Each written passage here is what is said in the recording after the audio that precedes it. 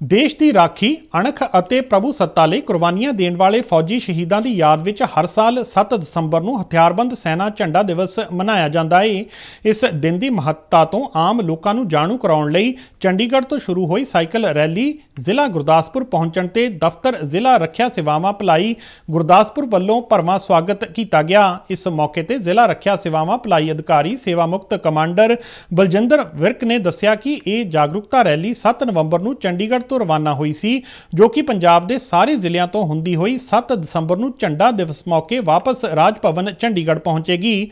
ਪੰਜਾਬ ਦੇ ਰਾਜਪਾਲ ਬਨਵਾਰੀ ਲਾਲ ਪ੍ਰੋਹਿਤ ਇਸ ਰੈਲੀ ਨੂੰ ਲੈਗਿਨ ਕਰਨਗੇ।